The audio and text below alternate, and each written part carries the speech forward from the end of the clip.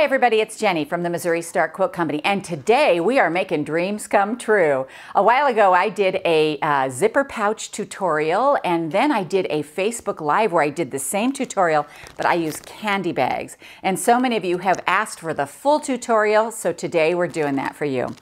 So to make this what you're going to need is a candy bag.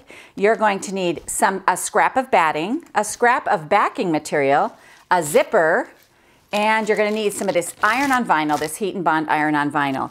And, uh, and this is so fun because once you realize that if you iron vinyl on to a candy wrapper, you are going to be able to make anything a bag or a pouch. So this is really cool. I mean, you could have a potato chip purse, you know. I mean, it just like, it's really fun to do this. So here's some samples of what I'm talking about. So this is like a little pack of Tootsie Rolls. Now this one is really fun uh, because I actually found, and maybe you can or can't see this, I don't know, but I actually found Tootsie Roll fabric to line it with. How cute is that? So um, I have a little bag of M&Ms here, and they all have the zipper in the top, just like the zipper pouch and uh, you don't stress about the zipper because we're going to make that easy for you. Here's a little Dove chocolate. Um, I'm not going to, you know, admit to anything, but well, pretty much I ate that whole bag of that myself. these, these, these are M&Ms, and I actually went looking for some of these. Had a hard time finding these. They've actually changed the shape and they're taller, which I actually think makes a cooler pouch. So let me show you how to do this. So the first thing you're going to want to do is get your candy bag and empty it and I don't care how you do that. There's no judging here. You can, you, whatever you want to do. Mine is in a baggie at home. And uh, then what we're going to do is we're going to cut the ends off of this and the bottom off of this. It's easier to work with if it's two separate pieces, the front and the back. So um, let me grab my ruler here. There we go. And I'm just going to lay this on right on this very edge right here, right where, where right where all this uh, where they fuse it together, I'm just going to trim that part off right there. Then what I'm going to do, I'm not going to worry about this seam back here because uh, that's on the back of all of mine. You can see, I mean, there's a, it's on the back of all of these. So we're not going to worry about that. And then I'm going to cut the just the bottom off. And you watch my ruler. I like slide to just the very edge. I'm just really just right at that fold and just going to peel that little part off right there. All right. See how tiny that is? And then we're going to do the same thing to the top because it's so much easier with two pieces. All right. Just a little peel, there we go. All right, so now we're ready to fuse our, uh, our bag and we want to fuse it with the iron, the iron on vinyl. This stuff is so cool because you can, you can iron it on fabric, you can iron on anything and it instantly will make your fabric waterproof. Um, comes in several different ways. It comes in um, I think it comes in matte and shiny. Not sure. Oh yeah, this is the gloss. I like the gloss. All right, so here we go. It has a grid on one side, and the other side it has this vinyl, just like this. So what I'm gonna do is I'm going to cut a piece of this that's just a little bit bigger than my, my candy bags. So I'm gonna lay those on here like this. And they'll fit two, so whew, this takes a little. Here, let me get one more ruler out here so I can have a, a hand to hold this down. There we go. All right. Now I'm just going to use my little ruler and I'm just going to use this grid line and go along. There we go. All right, you want to turn your iron on a medium setting and uh, I've turned mine down a little bit. You know, usually I'm, I'm pretty much iron on high all the time. So I'm going to turn that down a little bit and then uh, then we're going to peel this off like this. Take these apart. And I like to just kind of fold back that edge and just kind of roll it and it should come undone pretty easily. All right. Now, you're going to lay your shiny side down and the sticky part up. And we're going to put the sticky, or the, the part of, that we want fused to the sticky part, like this. I'm just going to lay that on there like this. And this one is a little bit bubbly because it has that seam in the back. This one should lay nice and flat on here, just like that. I'm going to try and get all the little bubbles you can out. The front is always pretty. The back always has a few little bubbles in it, but we're going to quilt that down so it won't matter. Then I'm gonna lay this up here on my ironing mat, just like this. And I'm just gonna lay that down on there and I'm gonna let it go ahead and, you know, if it wants to stick a little bit to my mat, that's okay. Now the paper that you took off the back, that's gonna be your pressing sheet. And I like to do it sideways so that I'm sure that, um, that my iron doesn't touch any of the uh, plastic on the sides because you don't want that on your iron. And then we're just gonna iron this and you hold it for like eight seconds. And then I'm just gonna move this over like this. Be careful not to let your iron get off the edge.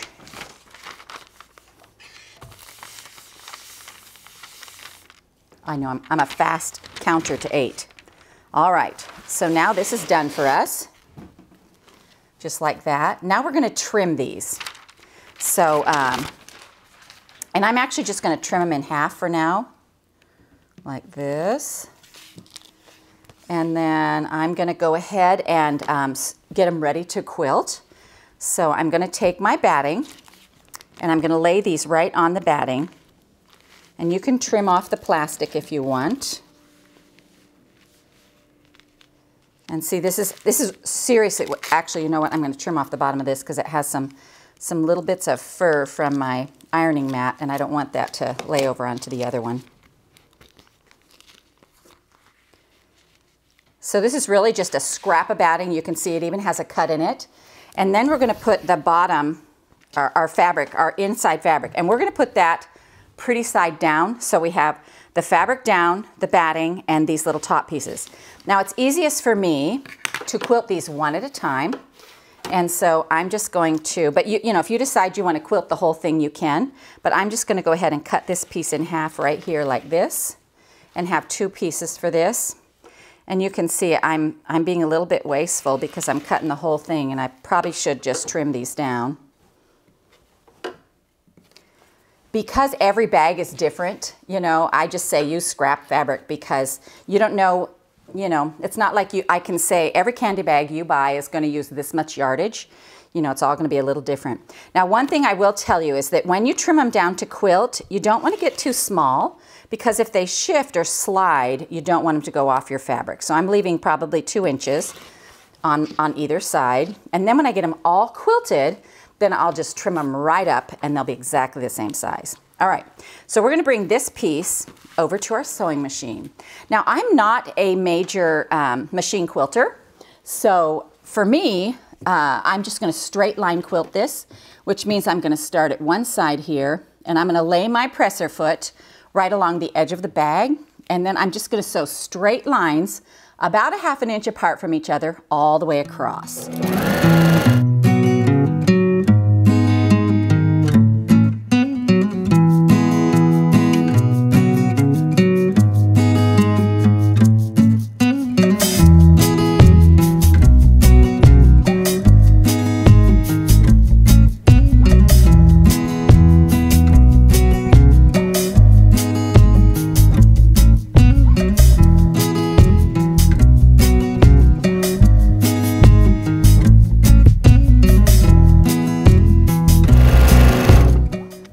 Okay, so now I'm done with all my little machine quilting.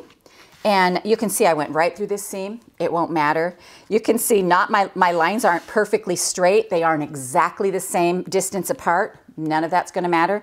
You can do it close, you can do it far, you can come back and checkerboard it. You could actually outline all of these things. You know, you, there's so many ways to quilt this. Uh, it can be really fun. So what I'm gonna do, the front of my pouch matters to me most. So this is the one I'm going to trim first because this is going to determine the size of the back of my pouch. So what I'm going to do is I'm going to lay this right along the edge, trim this. Now I'm going to use this straight edge as my straight edge for the other side as well to make sure that it's nice and square. All right, so now I'm going to come over here and trim this edge.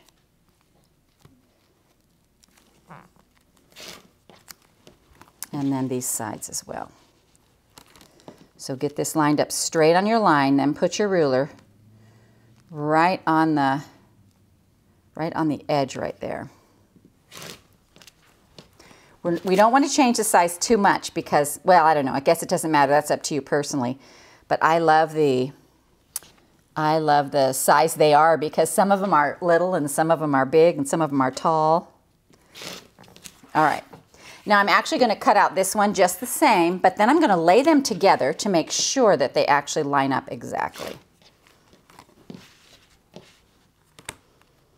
And I don't know why I do always do the ends first, but I'm not sure what, if that matters. You can do it however feels best to you.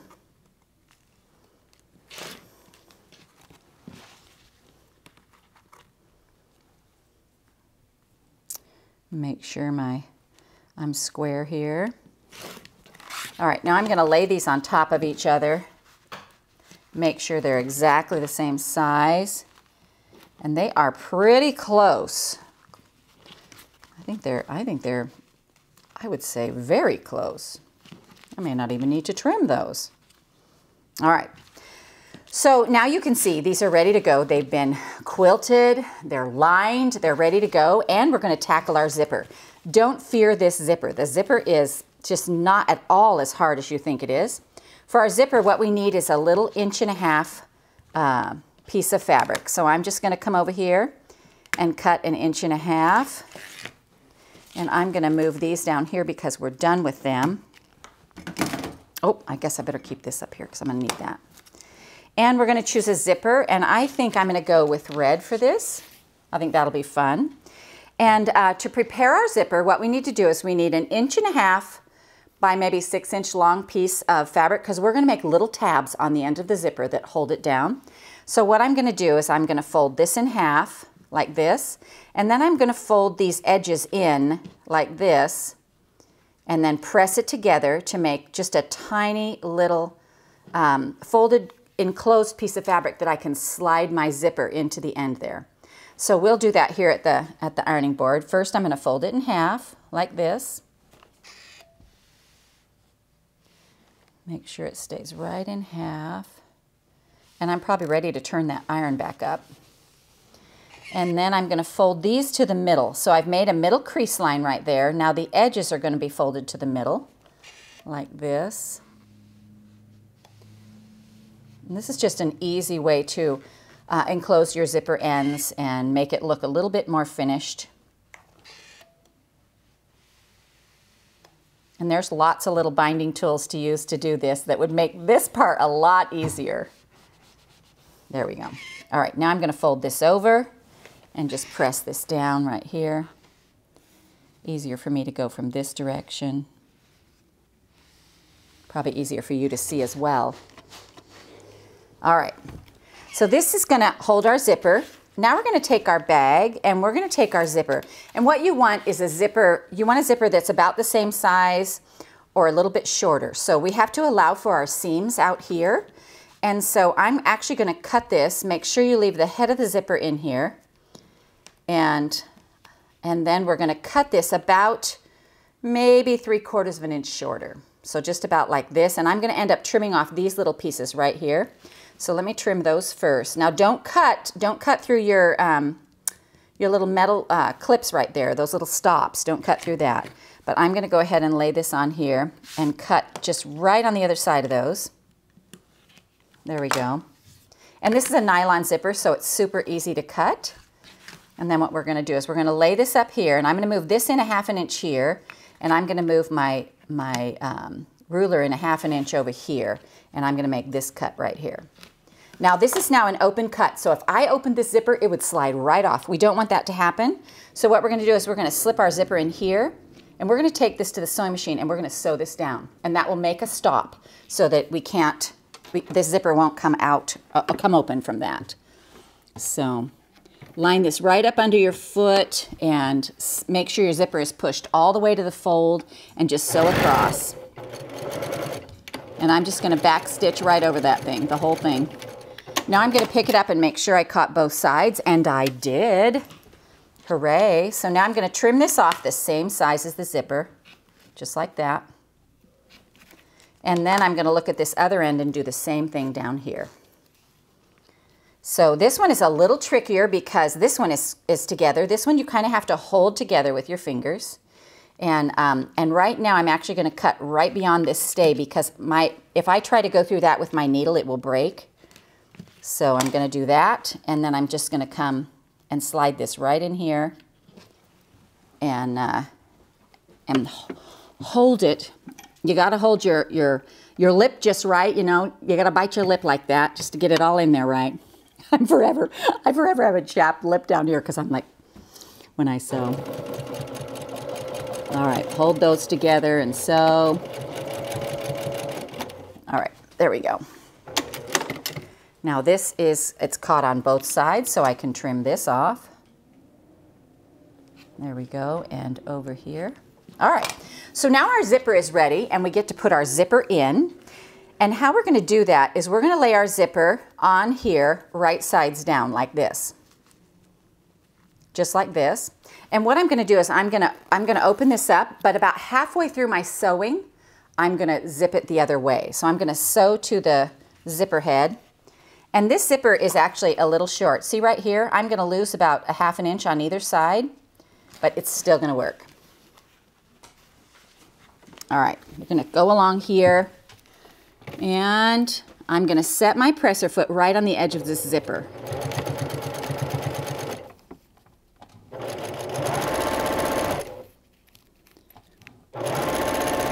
Now I'm getting down close to this end, so I'm gonna lift up, lift up my presser foot right there, and I'm gonna slide this zipper head closed down here.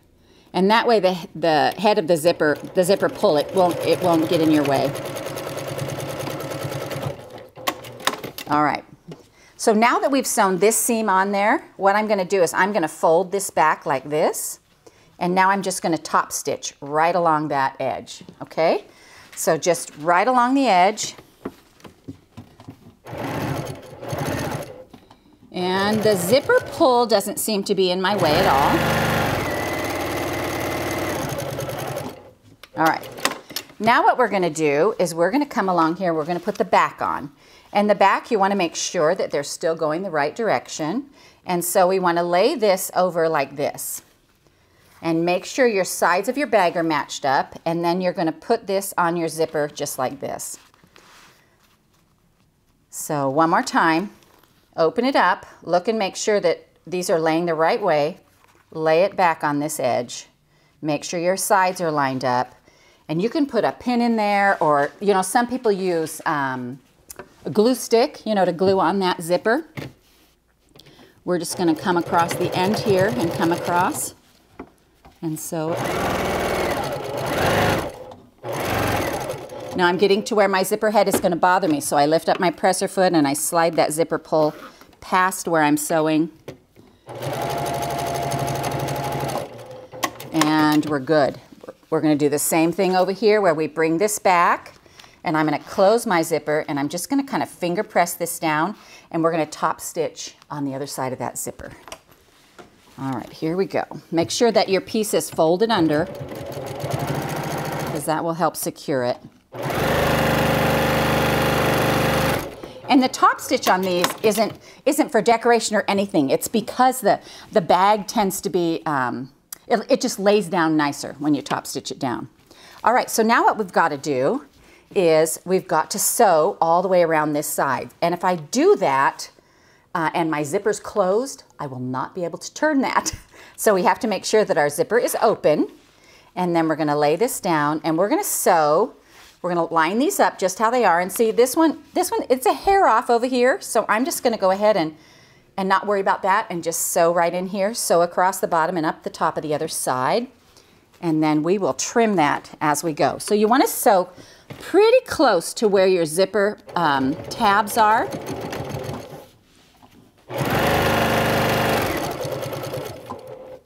And I'm going to come across the bottom, make sure it stays lined up. like this and come up the other side and I think I can go back a stitch. Just back up just a little bit. And then when I get right up here at the top I'm going to back stitch because I do not want that coming out. All right now with a scissor or your rotary cutter you can trim off this excess. That will make it a lot easier to turn so see, I just trimmed close to the edge of that. And I'm gonna trim off this little corner right here. And I think my bottom is okay. I'm just gonna go ahead and trim this other side up over here just a little bit. There we go. All right, so now we get to turn our bag. And I'm just using my finger to push out that corner. And then also my finger to push out the tab. See how finished that makes that look? Well, I'll show you in a minute. I'm in the middle of the big reveal, so I can't actually, I can't actually stop and show you that corner, but I will. It's a little bit of work to turn these.